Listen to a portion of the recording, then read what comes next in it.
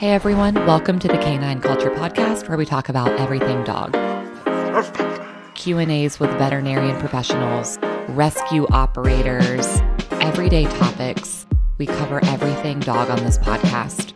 So make sure you subscribe to the Canine Culture Podcast on your favorite podcast platform and make sure you're following us on social media on both Instagram and Facebook.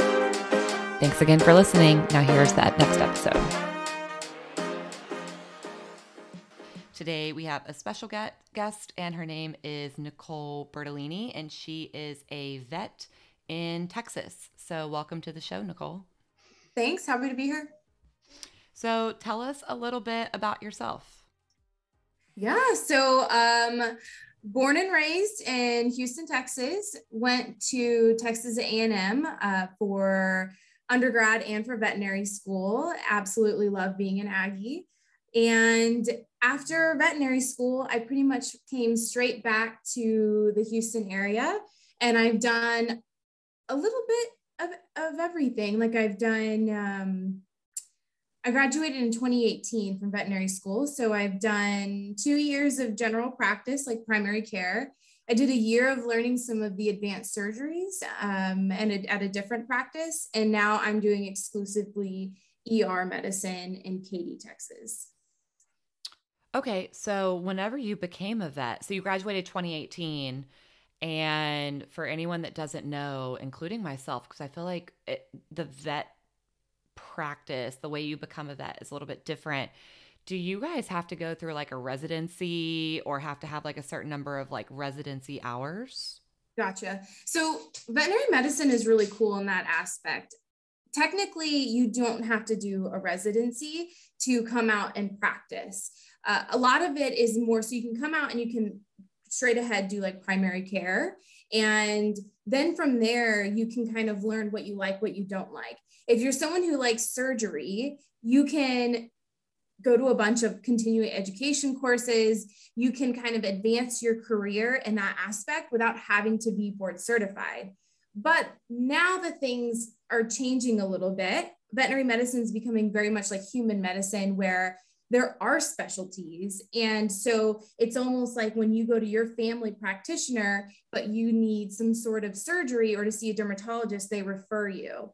So GP work is kind of a little bit of everything. And then if you need a more specific field or something like a surgery or something, you can send them there. To be a board certified dermatologist, cardiologist, um, you know, internal medicine specialist, surgeon, to be mm-hmm. board certified, you do have to do like a residency program and then sit for your boards. So, kind of like a yes and a no. Like, I'm not going to go do hip replacements in dogs, but I have done some orthopedic surgeries in dogs, or I've done some advanced soft tissue surgeries in dogs. And as long as you do no harm, you're okay. So, it's really just kind of about what you're interested in. And some people absolutely hate surgery. Some people hate internal med. Some people just want to do, you know, they want to be really good at exotics. And you can do all that if you have the interest for it. I didn't know that you could be a dermatologist for animals. And now I'm rethinking my whole life because if I could avoid poking them with needles and cutting and just identify skin issues and then have my vet tech do everything else, that really could have been the setup. So when I grow up, that's what I want to be. Uh, yes, that sounds great. And that, it is true. It's true. You can just um, some people like when you get out of school, like I said, some people when they're in school, they want to go straight into a residency, which you can do. So if you're in your fourth year of veterinary school, which is like your clinical year, and you're like, I want to be an internal medicine doctor, and that's all I want to do. Well, you can apply to go do your residency at another school immediately right away. And it's usually about another three or four years. Uh, and then you come out board certified. Or you can kind of do the route that I've done where I didn't know exactly what I wanted to do coming out of school. I kind of liked everything. And so I did general practice, learned what I like, what I don't like. And then now I'm kind of like narrowing myself more into the field that keeps me excited every day. So I do really enjoy surgeries. I like soft tissue more than orthopedic surgeries.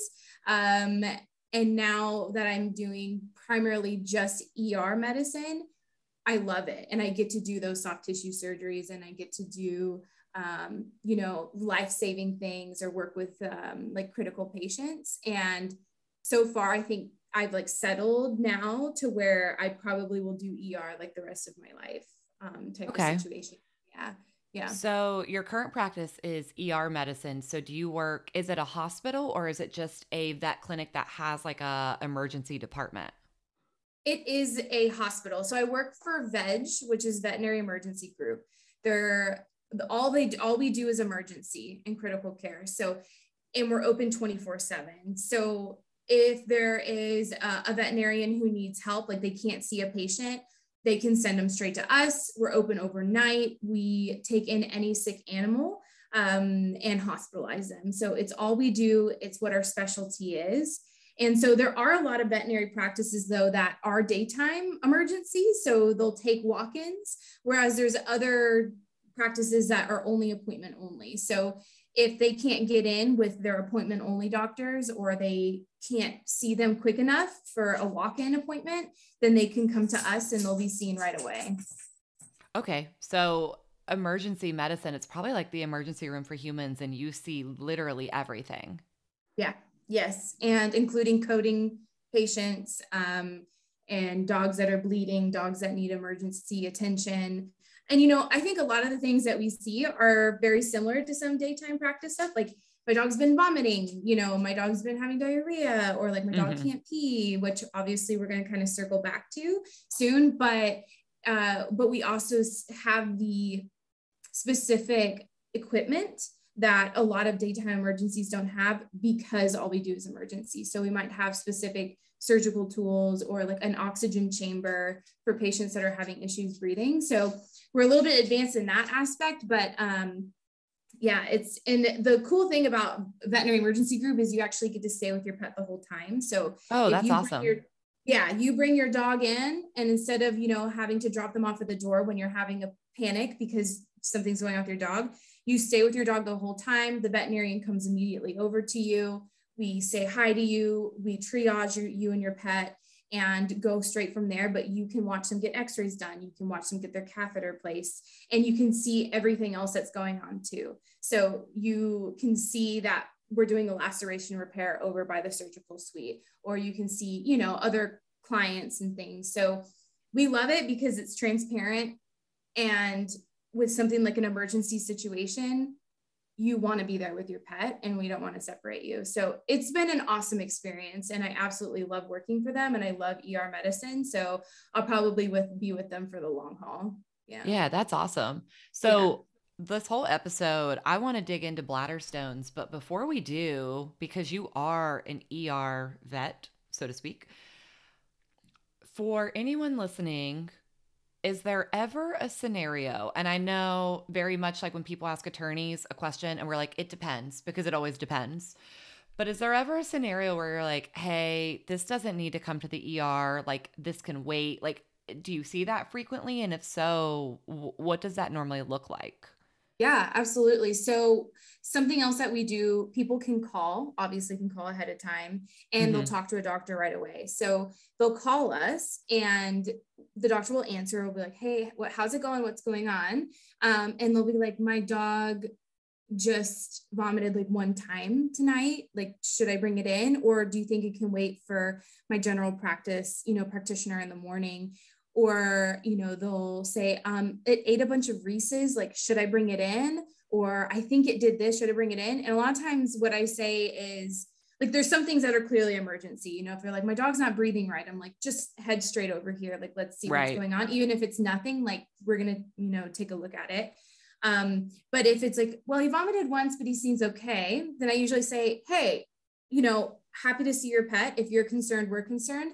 But if he doesn't vomit again, then maybe it was just a one time thing and maybe you can see your GP in the morning. Um, but if it happens again or a couple times, you should probably bring him in. So we kind of just like help them with that that thought process you know uh, okay. i think this is an emergency is it an emergency and we kind of say hey you should come in or you know Matt, that should be able to wait like if your dog ate a piece of a plant that's not poisonous like they can probably wait and see how they right. do so um, but yeah, absolutely. We get we get calls um, all the time, and we just, you know, but like I said, we always let people know if you're really concerned, just let's take a look at him. You know, we don't have to do anything other than have a physical exam and have a talk. And and if you want to go home and watch him, like great, you know. But mm-hmm. um, a lot of times, a lot of times, sometimes too, owners think that some one particular thing's going on, but it's actually something else, and right. we kind of figure that out with them. So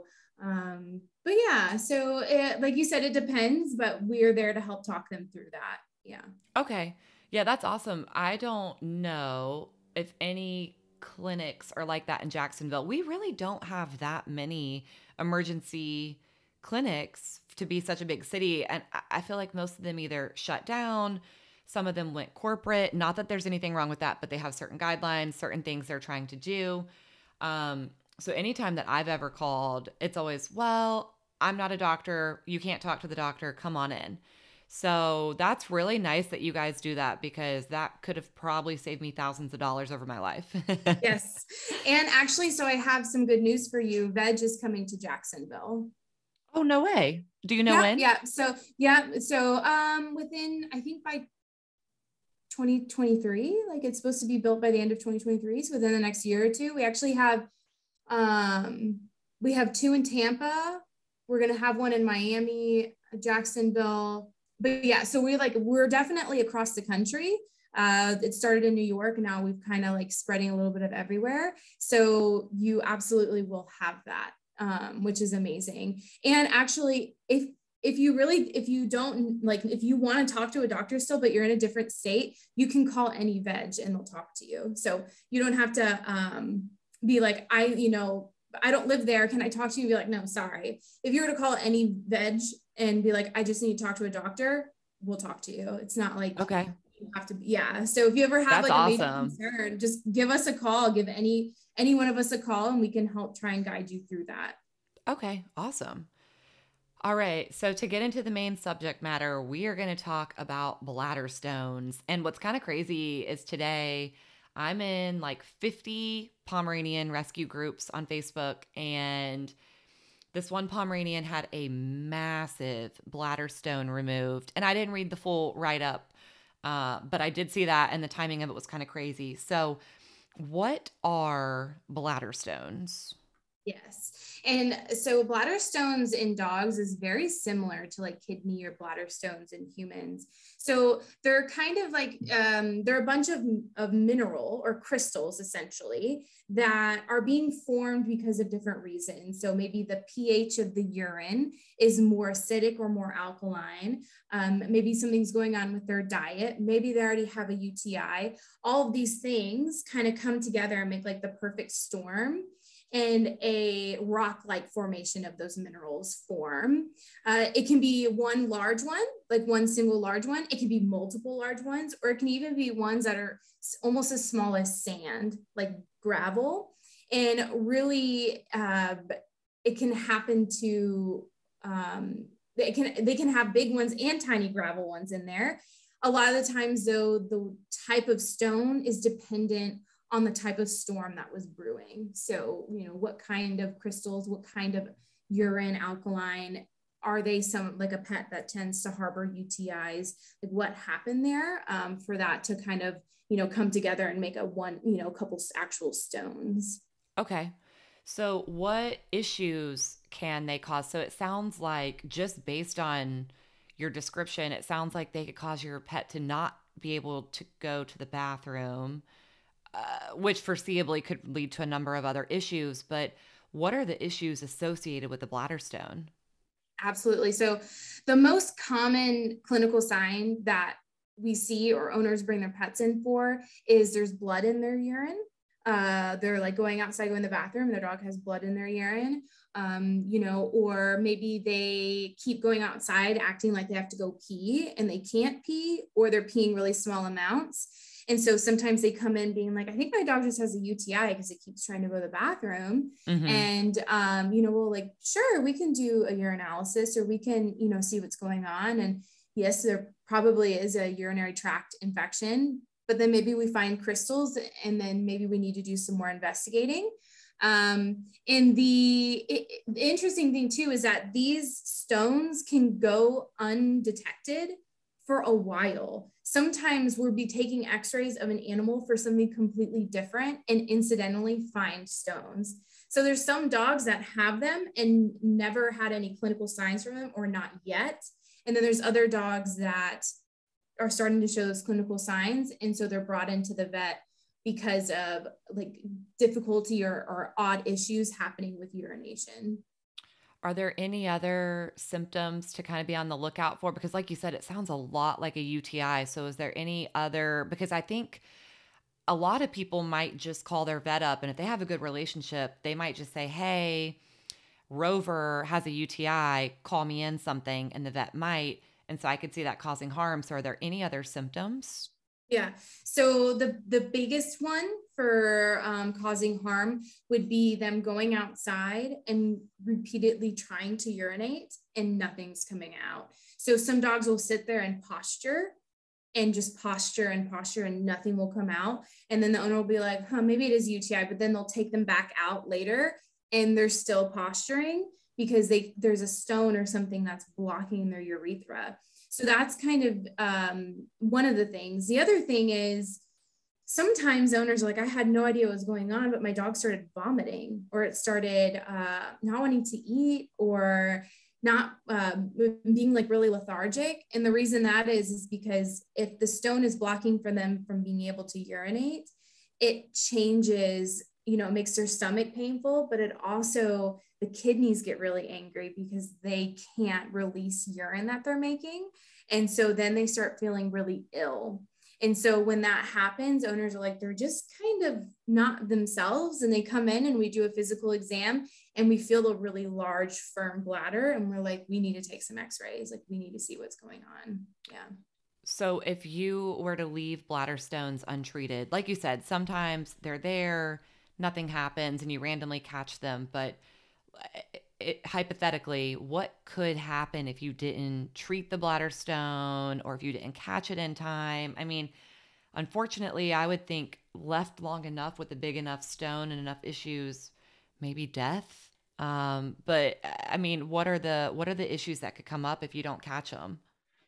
Yeah. So from the least um, life threatening, what we will see is return recurrent UTIs because these stones are like nidus of infection, or they're just even when you give them a you like you give them an antibiotic, they're great on the antibiotic. A week after being off of it, they're having these bloody sign, urine signs again. So you can have these repeat UTIs, which causes uh, resistance, and then they can have it can be harder and harder to treat them to, for their actual UTI UTI because you've been treating them so long now they have like a resistant one and need like major medication um, the other thing is that when these stones are bouncing around in there, they're causing damage to the bladder wall. So it's kind of like in there, just causing damage and thickened um, bladder mucosa. And that can also harbor more bacteria, or they can just be so painful that they um, keep showing like clinical signs. Um, the most life threatening thing is if there is a bladder stone that is blocking the urethra and a dog, cat, whatever the case may be, and we don't catch it soon enough, yes, their bladder can absolutely rupture. And if that happens, it becomes an emergency surgery. So we have to go in, try and take the urine out of the abdomen, re like fix that bladder that has ruptured and um, and then keep them hospitalized to get them through it. If you catch a ruptured bladder soon enough a lot of times you can get them through it but if it, if not then it is usually unfortunately um, you know very life threatening like they usually don't come back from from that. And what what symptoms are associated with a, a ruptured bladder. W- would you know immediately if that happened to your dog? I would say, you know, first you would see them not being able to urinate. And you, you know, I know some people let their dogs just outside, right? Like right. open up the door, let them outside. Like, you know, you're not paying attention. Like, I mean, that's what we all do. Um, but it's when they stop eating, especially if you have like a Labrador that eats everything. It's when they mm-hmm. stop eating And then when they start vomiting, when they start becoming lethargic and not wanting to get up and move around, that is when those are like the, the signs before it happens. Those are the kidneys getting angry. And, you know, um, let's say sometimes some owners will feel on their stomach and their stomach is painful. And mm-hmm. then they're like, ooh, something's going on. I should really get them checked out. And so usually it's when all of a sudden they're doing okay and maybe having some urinary signs to being really ill that they're um, that they bring them in, and then we um, you know do our diagnostics to kind of figure out what's going on and and go from there. And let's say your dog's bladder, let's say it ruptures and maybe it happens at night and you're asleep and you wake up eight hours later are you still in a safe timeline or are we getting a little bit dangerous? Getting dangerous, definitely getting dangerous because, you know, that urine, the electrolytes, things are being very far thrown off. Um, doesn't mean that we haven't fixed one before though. So okay. Um, yes. So they have come in, their bladder ruptured, or maybe it was originally just a small leak. And now all of a sudden they're showing the clinical signs. So they have made it through it, absolutely. Um, but the longer, of course, the worse. But I mean, you know, it can happen when you're at work. Like you're at work all day. Like I right. work 12 hour days, you know, so yeah, um, it can happen. And so yes, we can get them through it. Um, and uh, uh just of course, like anything, time is of the essence. But I would say when you're starting to get like over 12 hours to like 24 is when we're looking kind of more um, surgery may not even help get them through it. And so okay. we just have a, yeah, have like a real talk about that. Yeah. And as far as the surgery goes, so for a bladder stone in and of itself, so actually, let me back up. For treatment of a bladder stone, um, obviously you're going to do antibiotics, right? Okay. And then is there a like a medicine or a drug to kind of like dissolve the bladder stones? Yeah. So um, there's kind of three different ways for treating bladder stones. Or like, let's say, okay, so I'll run like a case scenario real quick. So dog comes in, he's straining to posture. Um, or a female, it can happen to female dogs too. Um, straining to urinate, nothing's coming out. You do an, an urinalysis, there's a UTI, there's some crystals, there's some blood in the urine. And then you're like, hey, let's do some x rays. And so we do some x rays and we see a stone in the urethra, like in the actual urethra. And we're like, that's an issue. And you see the stones in the bladder. The first thing we actually do is we usually try and pass a urinary catheter and push that stone back into the bladder so that they can urinate and we like release their bladder and so that they, you know, it doesn't rupture. Mm-hmm. Then from there, we talk about okay, this is where we're at. We know that your dog has bladder stones and we know that he could easily block again. Like that's something that can happen. Um, do the best thing to do is go in and take them out. So do a bladder surgery and remove those stones. The next thing though, that's not that's not available to everybody though. Like not everyone can do a surgery or wants to do a surgery on their pet. And so we talk about, you know, the benefits and, you know, risks for both things, but the other thing you can do is you start them on of course an antibiotic but then you can actually put them on some diets. And there's some diets out there. It's like a urinary uh, prescription diet that if it's a certain type of stone, which is called a struvite stone, it can dissolve those. But you play that risk where we're like, we're not 100% sure what type of stone it is unless we take it out and send it in. Um, so we can try this urinary dissolution diet but it may not work. So usually I say you should go back to your primary care or come back to us in a month. Let's see if these stones are less, if they're like a little bit more dissolved, like see if we're making a difference. And if we're not, then we probably need to go take them out uh, because they're not going to go away. Okay. I think you just answered one of my questions too was how do you know what kind of stone it is? But I guess you, I mean, you have to remove it in order to figure that out unless is there any kind of blood work that would maybe indicate, like, hey, this dog has bladder stones and it's this kind? Yeah. Usually, if we get lucky and the crystals show up in the urine, it can tell you or you can get a best estimate of what type of crystal. So is it calcium oxalate crystal? Is it struvite crystals? Is it, you know, urate crystals? And so then that can kind of help guide you Um, and also sometimes the what they look like on x-ray can also give you an idea. Sometimes those big honking ones that look like rocks in there that are smooth, a lot of times those are struvite. Uh, and then sometimes some of those smaller ones that are in there tend to be calcium oxalate. And the calcium oxalate are the ones that we can't really dissolve. So um, that helps guide. But then I've had times where I'm like, oh, this is definitely, you know, a calcium oxalate. And I go in right. there, you can take it out, you send it to the lab, the lab gets back to you in a week or so, and it's not, you know, or you're like, oh, okay, well, I get, yeah. you know, but you can do your best. But, and then when you get that information, you know what kind of diet to put them on to, to prevent it. Like there's a couple different diets to put them on to prevent the stone formation. Okay. So there's three different types of stones you said? Yeah, there's like three or four. Uh, the urate stones are more with uh, certain breeds, and cystine stones are like really common with like Dalmatians. Uh, the most common stones for a urinary, like a bladder, um, is calcium oxalate or struvite.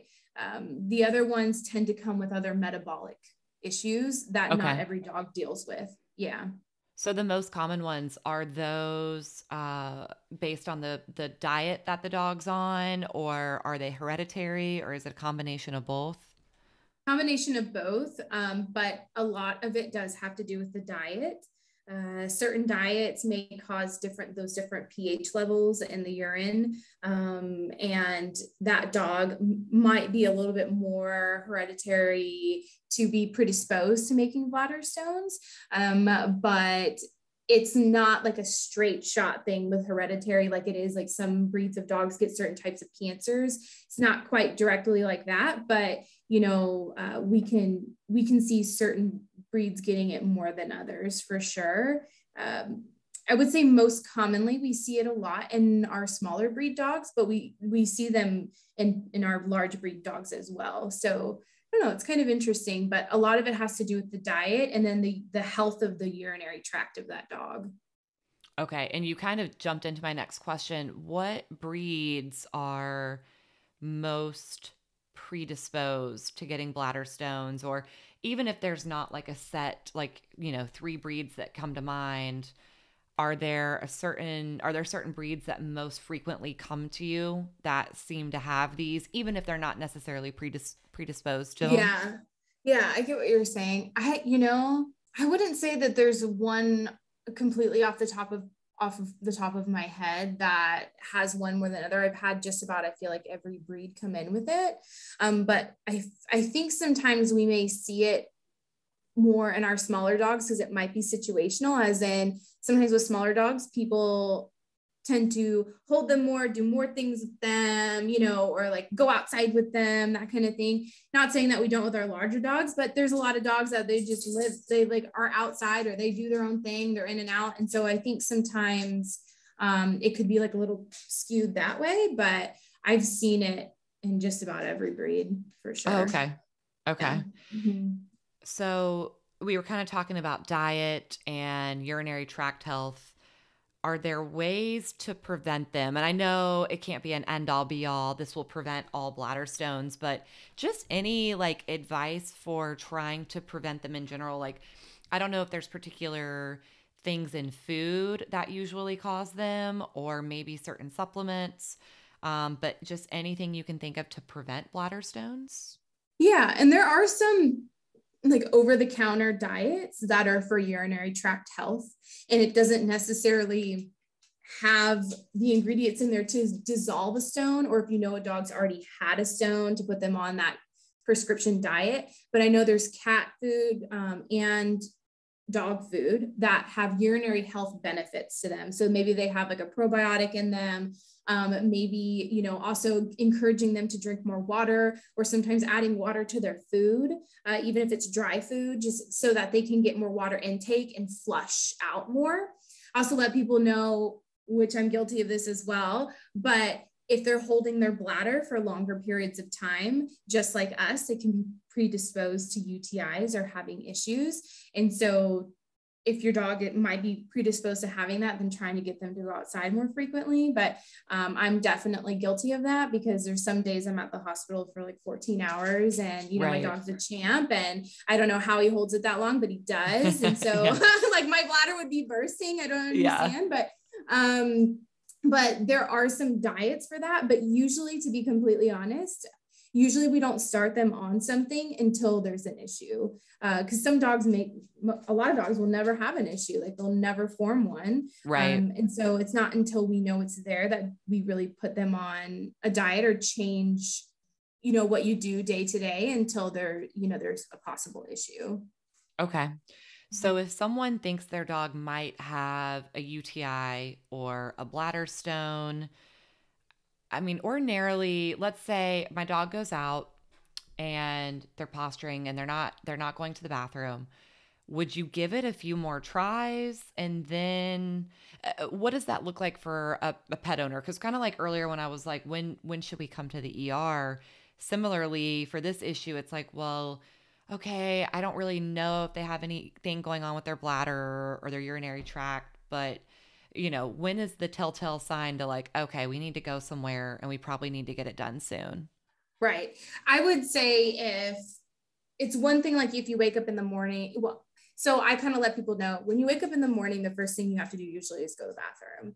And it's very same, very similar with our pets. If they went the bathroom before going to bed and then you wake up and you try to take your pet outside to go to the bathroom and they're trying to go, but they can't, I would try to get them in to get them seen. Or if you see some coming out or they pee and then they walk a couple more steps, you know, you take them on a walk and then they pee some more and then they squat some more because maybe they have that burning sensation.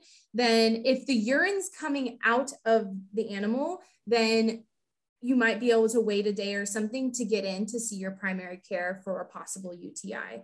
If no urine is coming out of the animal and you know they've been drinking water or it's the first thing in the morning, um, then I always recommend safe and sorry, just bring them in to your primary care or to an ER and we can feel for you or put an ultrasound probe on there for you and catch something before it's bad. So if urine is coming out, then that's great. So that means, you know, the, the pipes are clear. But if there's little dribbles coming out or they're constantly posturing or they haven't gone to the bathroom in like 12 to 24 hours, like we should really, you know, get them in to get them seen. Okay. And is there anything that might manifest like a bladder stone or a UTI, but it could actually be something totally different? Ah, yeah.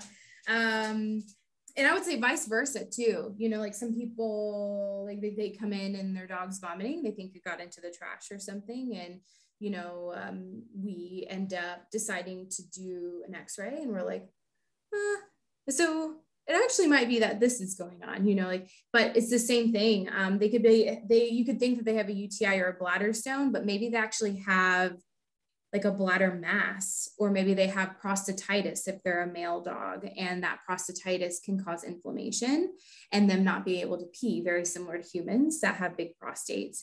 Um, sometimes it's that their kidneys are really angry, like maybe they, um, you know, got into a toxin that affects their kidneys, or maybe they are actually having some like a they've had chronic kidney disease but we're just now figuring it out. So a lot of it is we kind of do that whole package you know? So they come in and we're like hey it could be you know if it if they're urinating frequently or let's say they're drinking a lot peeing a lot that could actually be a metabolic disorder. So let's do some blood work and maybe a urinalysis and then go from there. Maybe take some x-rays so yeah there's a lot of things that can look like each other and really just doing those diagnostics or that good physical exam and uh, getting those vitals and feeling on their belly can just help so much in determining which way because but yeah they there's things in there that are like great pretenders. Like you think it's one thing, but it's really something else. And right. you always have to have that in the back of your brain, you know? So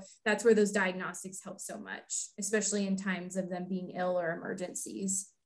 So, one curveball I have for you, and it's kind of on the opposite side of not going to the bathroom. Ah. So, this has actually come up this week with one of my dogs, and he is Ooh. going to the bathroom so much. And I'm talking, he's peeing literal puddles all day. but his water intake hasn't changed.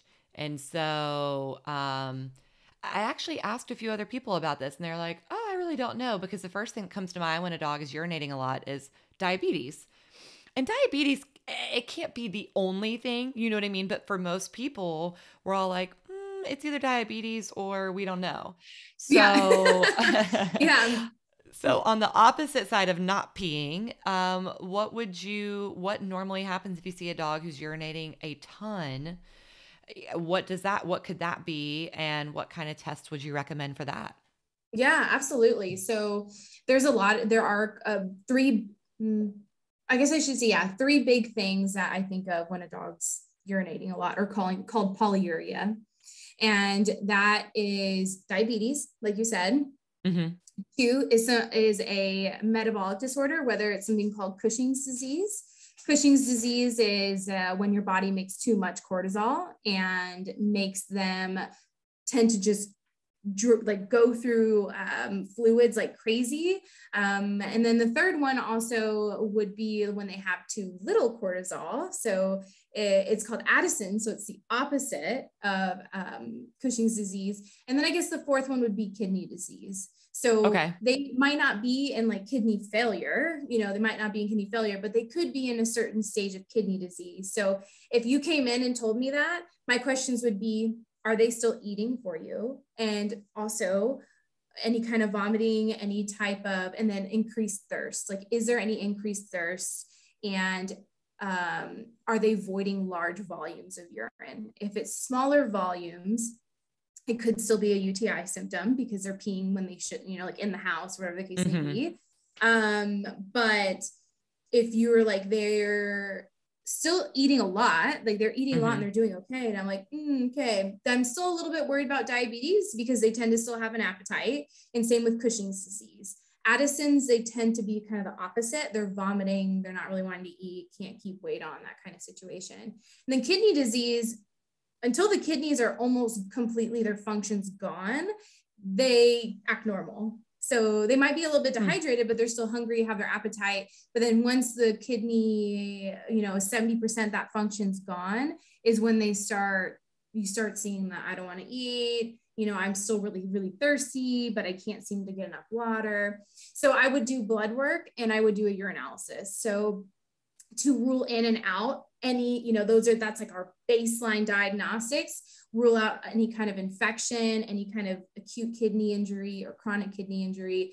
And then also the urinalysis tells me how concentrated is the urine. So if they're drinking a lot and peeing a lot and it's really unconcentrated, then I'm worried about the kidney function. If mm-hmm. it's still really concentrated, then I'm worried about a different metabolic issue. So it really kind of you know, you sit there and like in your mind, I feel like you're one of those memes with like the woman who has like all the math around her. Right. That's yeah. kind of what you do. And so anytime, yeah. you know, the doctor or the technician's like probing you with questions, it's because I'm like going through like a Venn diagram, like just going through a diagram in my brain and figuring out what's best for this dog right now. So mm-hmm. I would recommend just doing like a full, like a full workup and see, you know, what do we have going on and um and see if you can get on top of it or if it's something simple, great you know, right. just to set those expectations. Yeah. Okay. Yeah. I think that's really good advice. Um, so is there any more just, and this could be very general, do you have any advice for dog owners for anything? It could be anything just related to your emergency practice that maybe maybe you see it so frequently you're like I wish people knew XYZ. Is there anything you can think of? I would say that the main thing that I probably run into, which I'm I'm very blessed that with veterinary emergency group, with the owners being there, we get a sense of trust. So instead of because you know you have a you have a relationship with your primary care so you have trust with them but then when your dog is in an emergency situation and you're going to someone you've met for the first time and you know it's like ah like everything's like heightened into 10 um, I'm blessed to be able to have the owners there. So we build that trust that day. I would say the main thing is I know emergency can be expensive. Like I know, I know that. And it is sometimes really tough on us too. But if a veterinarian is recommending certain diagnostics, it's really because they're trying to rule out life threatening or really scary things. Right. And so, and and that's the same with primary care too. But like with emergency, uh, you know, some people will be like, oh, you're just, you know, wanting my money. I don't need to do it. And I'm like, no, it's because I want to make sure that before you go home, your pet's okay. And so I want to do these things. And I would say if you have any type of concern for your pet, don't feel silly bringing them in. There's some people who are like, I feel really dumb. I shouldn't have brought my dog. I'm like, don't ever feel dumb about loving your pet you should bring them in in times of need and we're here for you in those times of need. And so even like i said if you bring them in and you just do an exam and you figure out everything's just fine well then guess what? You're going to sleep well that night. And right. so i would say the that would be probably the most common thing is just you know best not to wait. Just go get them checked out. And if it's something that can wait for further diagnostics with your primary care, if maybe you're cost concerned or you know you've realized they're going to be okay, but you still want a more workup, awesome like great that's like the best case scenario for us you know so um i would say that that would be the common like day to day emotional or mental strife that we can have sometimes as ER veterinarians. Um, but in regards to like getting into things, I would say, uh, you know, super common for dogs to be getting into like trash or eating socks or mm-hmm. eating things they shouldn't. Uh, one of my favorite things to do as an ER doctor, and this sounds kind of cruel when I think about it, is but is make them throw up. So when they come in and they're like, they just ate this, you know, their toy, or they just ate a sock, like, or they ate something out of the hamper, whatever the case may be. I'm like, how long ago? And they're like, 20 minutes ago. I'm like, bring them in, you know, and they're like, should I do like the peroxide? And I'm like, no, like I'm peroxide can work in a pinch, but it can also cause aspiration, like pneumonia, if they're like to Oh, that's good to know. Yeah, so I I prefer that if you think your pet ate something, take them to an EC so we can give them a medication. It goes IV and they vomit within two three minutes. Oh wow! And it's so yeah, and I feel bad for them when they do it because they're like they look like you know one of the someone's had a really tough night and they're like hanging over the toilet, like their mouth they're drooling, like yeah. struggling. But then you get up that sock and sometimes another one comes up too and the owner's like i had no idea. And you're like victory! You do like a dance you know to have you know you never think you'd be so excited to see your dog throw up but you just avoided an endoscopy or you just avoided a major surgery. And so i feel i that's like one of my favorite things. Like when they come in is i'm like let's make them vomit you know let's see what they got in there. You know let's avoid you know thousands of dollars and you know your dog gets a little bit of a lesson for a second because he regrets some of his decisions. But um, yeah, I would say that's really common. That's especially around like the holidays when they've oh, yeah. been fed, you know, or they got into the candy or they got into whatever. Um, we see a lot of upset tummies and dogs that ate things that they shouldn't have during the holidays. How quickly? Okay, so you have an IV that can make them throw up in two to three minutes. So what proximity of time do you need to see them in? So if they ate something three hours ago, can you still make it happen or is it too late? Mm-hmm. Depending on what they think it is. If it's something that is uh, mostly food, might be kind of hard. I'm kind of the person that I would just rather make them vomit. Like, let's just, if anything, nothing will come up, right? So mm-hmm. if you think that they ate something toxic, that's not corrosive, right? Just like us. Like if we had right. something corrosive, we don't want it to come back up.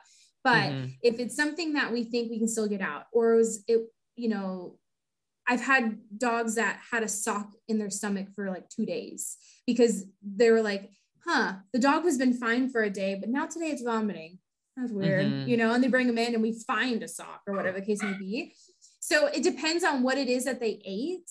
Uh, if it's food or um, I would say something that anything that's like really, really small that can get like through that the sphincters of the stomach quickly. It can be hard, but I pretty much always err on the side of caution and I just make them vomit. Especially if they were like, my dog ate all this chocolate, you know, a couple hours ago. I'm like, just bring them in. Like, let's just yeah. see what we can get out and just try to do that decontamination. Um, but usually we say if it's been more than four or five hours and it's not like a substance like you know like soft mm-hmm. toy something like that, then we just let them know like we might not be fruitful, but it's worth it. And right. so um, we just kind of give them that, you know, let them know the prognosis of that. But I've had some though, they ate chocolate the night before. I still made them vomit, and they still had a bunch of chocolate that was just digesting in there. And I was like, and that's the rest of it that we don't have to worry about. So let's, you know, get that out of there. so, um, yeah, I would say that's that's probably most common. And then my last thing in regards to cats, cats actually get urinary blockage very frequently. Male cats do. I've actually heard that, and I've actually known quite a few people who have had that issue come up.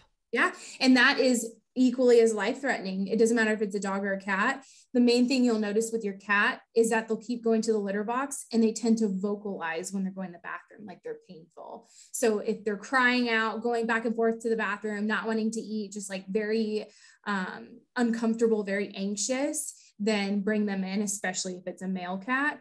Uh, because more than likely they probably have a urinary blockage and they need some help unblocking. And um, most of the time they actually get that like sandy, gritty stuff. So usually mm-hmm. we have to, regardless, put in a urinary catheter and flush their bladder for a couple days to get all that out of there. Um, so um, that is definitely probably another one of the top things that we see. We probably have a couple unblocked cats a week or you know that we um, help them with so that's the other thing so dogs get blocked cats get blocked like just kind of gotta humans gotta get blocked humans get blocked everyone gets blocked the main difference i would say with humans is that you know i mean dogs can get a lot of get kidney stones too Mm-hmm. not as common for them to like migrate you know um, a lot of times they kind of stay where they are whereas humans will pass a kidney stone and that's mm-hmm. kind of mm-hmm. interesting to me that they don't in like dogs, they don't really necessarily move from the kidney down to the bladder. They usually just form in the bladder. And when oh, you find, yeah, when you find kidney stones or, or renoliths is what they what they call them. A lot of times it's incidental. Um, but I have, I mean, when I remember when I was in school, they did have an animal in there that tried to uh, like a renolith tried to pass and then it like ruptured the ureter or something like that, like something crazy. That is so uncommon. I've never seen one since I've been out super uncommon, but that's very similar to what a dog who ruptured their bladder looks like. They don't feel well, they mm-hmm. have an upset stomach.